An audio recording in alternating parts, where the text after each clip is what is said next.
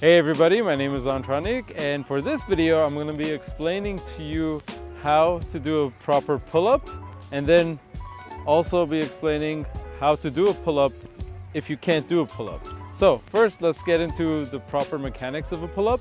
There are a couple phases to it.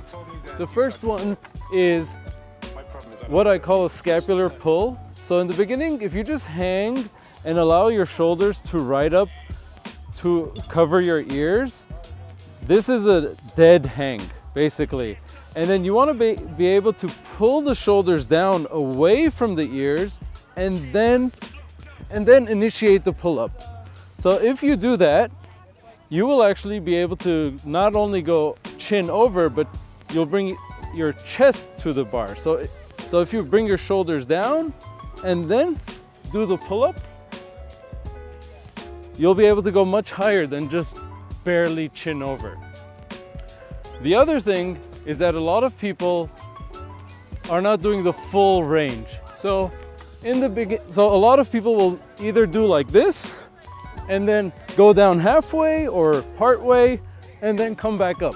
And they do that because it's a lot easier. It feels a, a lot easier. But if you go all the way down until your elbows are straight and then maybe a dead hang and then active, bring it down, that's gonna strengthen you in that full range of motion because you build strength in the angles that you train them in. So if you're neglecting that range, a lot of people will only be going down part way and then they'll be really weak in the full, the bottom range and not be able to pull out of it from the dead hang.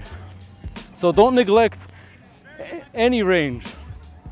And then another thing is a lot of people will be doing pull-ups at home, maybe on a doorway pull-up bar, and they don't have room for their legs. Um, and a lot of people cross their legs. Try not to cross them.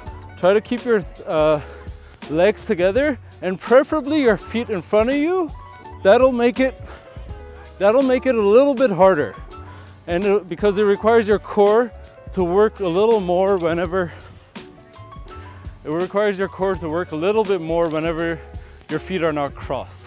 So just doing things that are a little bit harder make you stronger. So I hope that helps. And now we're gonna discuss how to do a pull-up if you can't do one.